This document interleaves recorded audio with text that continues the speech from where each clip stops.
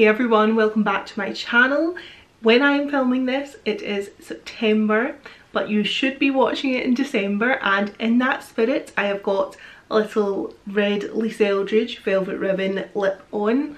I have got a Christmas jumper on and not that you can see or smell it, but I do have Jo Malone, or Jo Loves rather, log fires burning in the background because today I'm filming the intro to my 12 Pans of Christmas 2023 project pan. I love doing this project pan every year. Three months is a good amount of time to use up and concentrate on the sort of items that you wouldn't put in a year long project pan but that you do need that little bit of time with, you do need that extra effort, that extra bit of concentration and hopefully it means it will be a couple of things that I will finish and you know not be dragging forward into next year with me so I really like this project pan just for that kind of clean up at the end of the year. Let's get into seeing what I am doing this year for my 12 pans of Christmas. First item that I'm putting into my 12 pans of Christmas is actually three items because obviously we have to start bending the rules straight away. But this is a set of three perfumes. I am measuring them all individually. They're all from Guerlain. This is Eau de Cashmere. This is the one that I have used the most of the set already. Eau de Lit, which I haven't used very much of at all. Eau de Lingerie, which I really haven't used very much of at all. So this was a little gift with purchase. I can get weirdly sort of protective of gifts with purchases. It's not something money can buy in that sense. So I can sometimes get weirdly protective over gifts because I know I can't replace them if I use them up. But these are three skin scents. They don't excite me as much as like I love a big amber based room rocker of a perfume so like Chanel Le Lion or um, Guerlain Shalimar or Cuir Beluga from Guerlain again. Um, those are all my sort of favourite types of fragrances. Uh, so I don't very often gravitate towards the skin scents which is also probably partly why these have kicked around in my collection for as long as they have done but it is time to get them out, get the use of them. I am still running my year-long project pan at this point and I do have a perfume in that but I'm hopeful that I'll be able to finish that one and finish these and hopefully still get to use some of those room rocker scents in the run up to Christmas without totally having to put them in the back burner just to finish these. Because these are skin scents, I feel like they'll also layer and mix quite nicely with other smells if I really need to be, you know, finding ways to mix them in to get the extra use if I'm struggling to just finish them as they are. So the aim with these is to finish all three of them.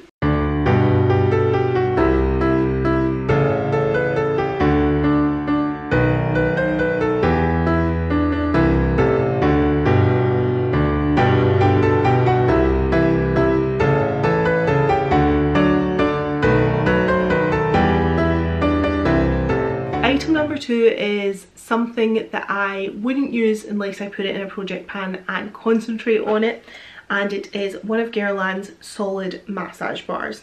So obviously I'm not really using this to massage myself with as such, I'm just using it as like a body moisturiser, like a solid body moisturiser. Now I don't dislike this enough to declutter it and I have another one, I think I have one more of this scent left in my collection after this, but I much prefer something that's just scoop out of the tub or spray on or pump out or whatever than a solid. So I feel like I never reach for this unless it's in a project basically. So our opening weight on this Lush massage bar is 49 grams and I am hoping to completely use this up before the end of the year. So if it's what 49 grams, say 50 grams for simplicity's sake, three months so say sort of 17 grams a month roughly is what I want to try and use up and hopefully we will say goodbye to this and it will be out of my collection by the end of the year.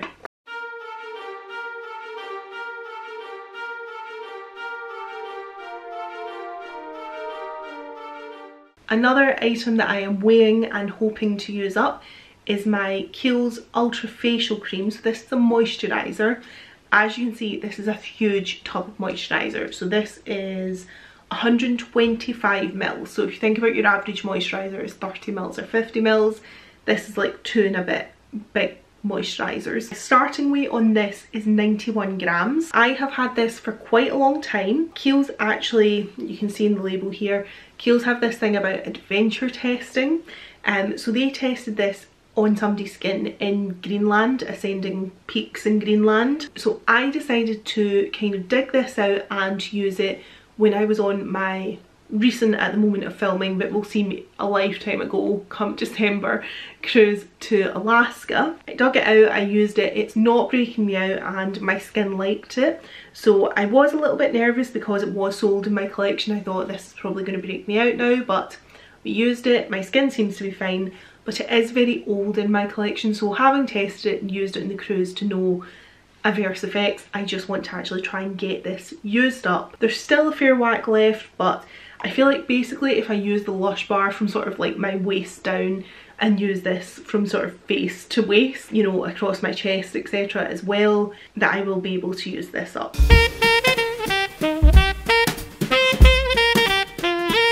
Something that I really want to get used up and get out of my collection is this primer. So again, super old in my collection. I don't even want to think about when I bought this. I don't feel comfortable putting this on my face anymore but I did put this in my 12 pans of Christmas I think not last year but the year before and had said like for Christmas events and things do it on my arms or my legs and that is how I'm hoping to finish up what is left of it this year. So there are 16 grams of product in this at the start of the project. I've actually got a friend who's getting married uh, in a few weeks so I am hoping that I will actually possibly have this cut open by update number one and hopefully finished by update number two. So yeah, I would really like to have this out of my collection, even if it does take me right up to Christmas Eve to the finale to get it used. I just want this out of my collection. I've had it for so long. I don't use it in my face, but I very, I very rarely am at events where, you know, I would go to the effort of putting something in my leg, so I don't think to reach for it, which is why I am putting it in the project and trying to like keep it in my brain, like get this used up. If you've got an opportunity, if you're going out somewhere, slap this on your legs or your arms or even maybe like, although it might break me out here. Skin here is quite sensitive, so legs and arms, try and get it used up and get it out of my collection. That will be the best Christmas present to myself ever if I can finally get rid of this because I've had this for far too long.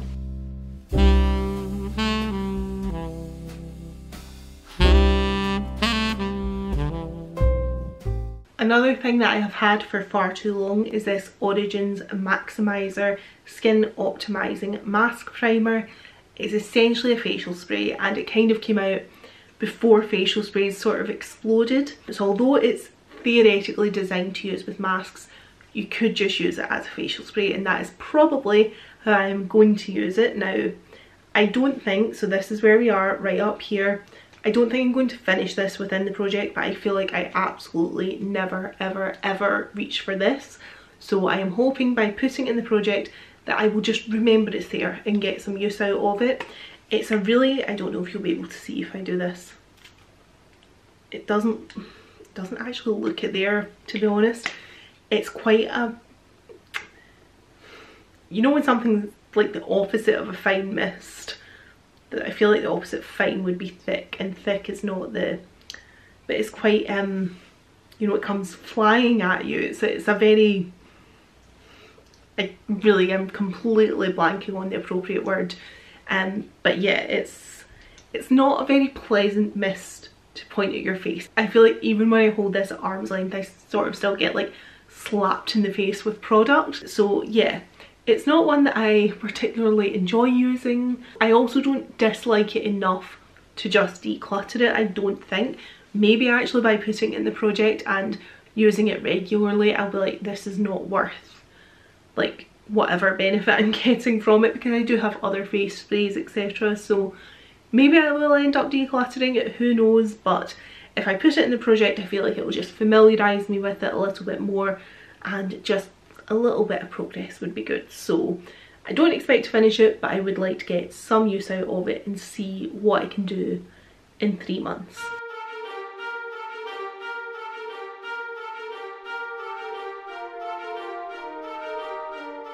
Something I do expect to finish is my hand cream. This was in last year's 12 pans of Christmas. Already had like a good three months of using it because it is literally a Christmas hand cream, I got it in my Christmas stocking two years ago I think now.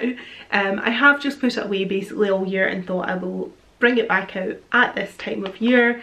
Um, so there are 33 grams of product in here and yeah, I feel like I should be able to finish that this year without any real issues. So hoping to finish this one within the project.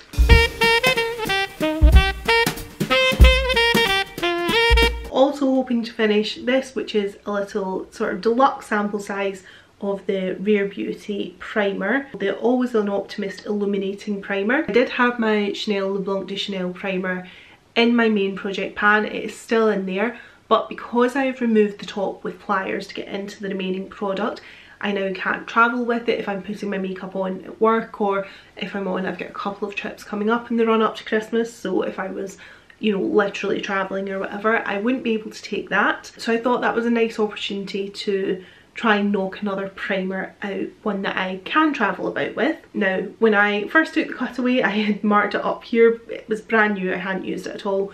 And then I actually used it the other day and realised it's going to go up from the bottom here. It's one of those ones rather than one that's going to go down from the top.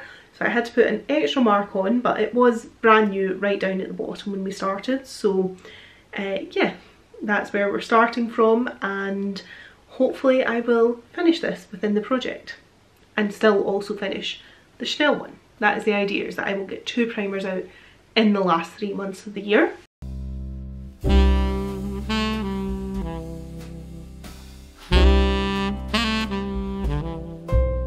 Following on from primer, I have got a foundation. This is the Hourglass Vanish Foundation Stick.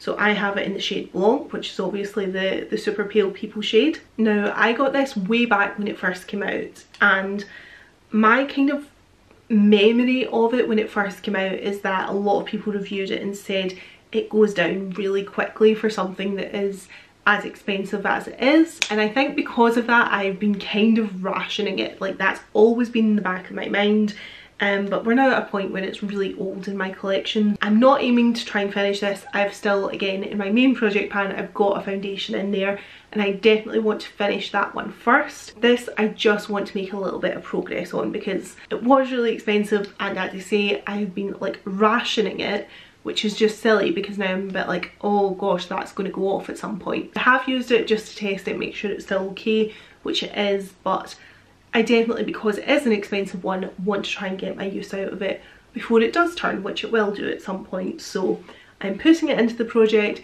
not expecting to finish it. I just want to make a little bit of progress and you know, see what that progress realistically could be. My opening marks for that is this length here. So we will just see where it ends up.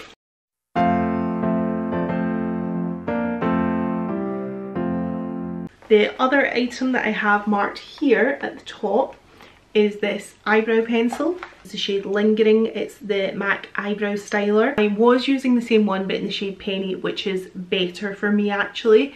But I have finished it up and I probably will repurchase Penny just to have the right shade for if, you know, I was getting an event where I was going to be photographed or like for going for my friend's wedding or whatever that I mentioned, I'll probably buy myself a new one so that I've got the right shade. But this is what I've got in my brows right now and it's not perfect, Penny's definitely better, but I don't think this is bad enough to declutter. Like I feel like it's fine, it's just not perfect. So this is how much product is left in it. So I would like to try and just finish that by the end of the year. I don't fill my brows in every day. I do wear glasses full time basically. So like right now I've got contact lenses in, but I tend to wear my contact lenses at the weekend or if I'm going out. My eyes are very sensitive, they kind of dry up. They don't really like having the contact lenses in for many days in a row. So quite often I'm wearing glasses and if I'm wearing my glasses I don't tend to fill my eyebrows in because they're kind of hidden with the glasses anyway. We'll see what I manage here but I would like to finish this and yeah, maybe I'll just need to start filling my eyebrows in on days when I'm wearing glasses, which feels a little bit like a waste, but I do want to finish this and I also want to repurchase Penny, but not to then ignore everything else that I've got just to use the new one because it's better. Like, I will keep that one for special occasions and try and get some of the other ones that I've got that are not terrible and not awful but just aren't as good used up rather than decluttering them. Like I feel like that feels really wasteful so I'd like to get the use out of it and to ideally finish it within the project.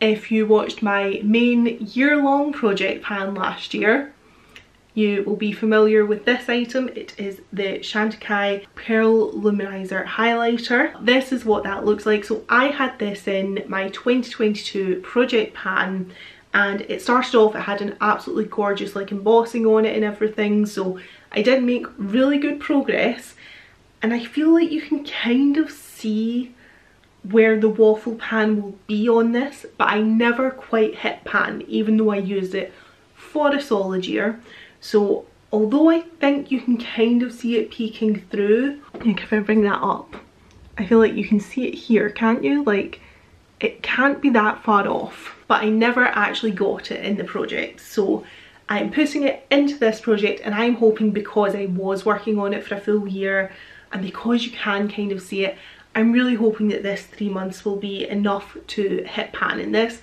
I'm obviously not expecting to finish it. Like if you are into project panning, you will know fine well yourself. Once you hit pan, there's still so much product left. So it's not that I'm expecting to finish it or anything ridiculous like that, but I would really like to actually see proper pan in this by the end of the project. So I'm pushing this one in. Fingers crossed we manage it.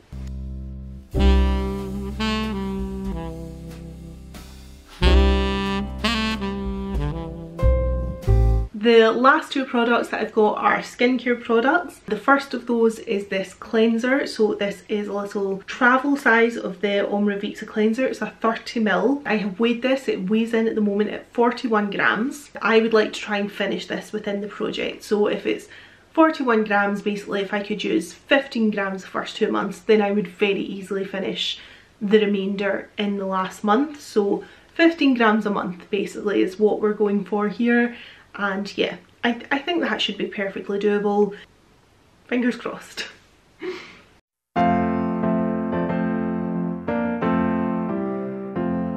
The last item is actually a Medik8 retinol. So I can get a bit wary with retinols. They're not something that I use very often, but I feel like going into these months where we start losing sunlight and whatever, it's it's ultimately the best time to be using retinol because I feel like every time I use it I'm just thinking about like how it leaves your skin more like kind of weakened for sun exposure. So I feel like yeah using it this time of year when there's not as many sunlit hours is probably the best kind of time to be using it. So this is completely brand new so I've marked it right up at the top there. That is what is in this bottle. It's a 5ml but obviously as somebody who isn't using retinol every night or anything like that it's not something and this is uh, 3TR plus intense supercharged 0.3% vitamin A serum. So I feel like this would be a little bit much for my skin if I started to go from zero to using it every night.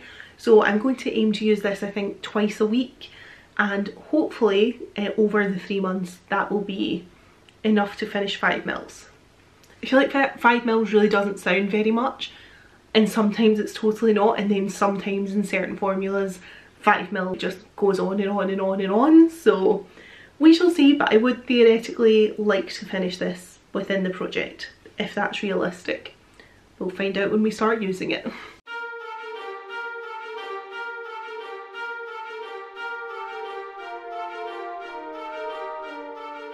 So anyway, those are my 12 things, or 14 if you count the trio as three things, that I would like to try and finish up or hit goals on before the end of the year. Thank you very much for watching this one. I hope you will enjoy following along on this project pan with me.